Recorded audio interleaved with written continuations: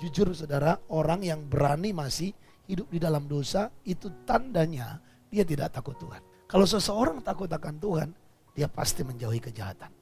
Jadi saudara kita bisa nilai sebenarnya, kita bisa berkaca tentang diri kita. Apakah kita ini takut Tuhan atau tidak? Kalau kita masih begitu berani hidup di dalam dosa tanpa ada penyesalan dan itu terus menerus di situ, sebenarnya mungkin kita sudah percaya Tuhan tapi belum takut Tuhan.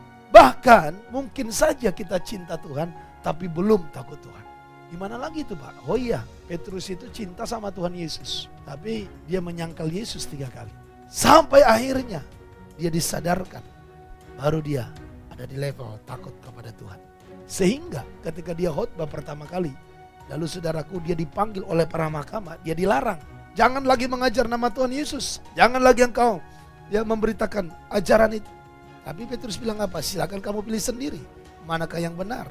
takut kepada Allah atau kepada ma manusia. Padahal sebelumnya saudara apa yang dilakukan oleh Petrus? Dia cinta Tuhan, tapi dia takut kepada manusia. Dia kurang takut kepada Tuhan. Sehingga kenapa? Dia menyangkal Tuhan demi cari aman kepada manusia. Jadi ada orang sudah percaya Tuhan, belum tentu cinta Tuhan.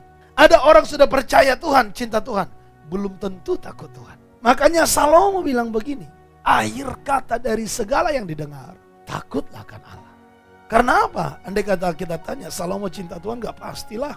Tapi apakah Salomo takut Tuhan? Sempat dia tidak takut Tuhan. Tapi akhir hidupnya, jadi kebesar kemungkinan Bapak Ibu Saudara kita pengkhotbah ini ditulis Salomo pada akhir hidupnya. Setelah dia menjalani semuanya, baru akhirnya dia bertobat.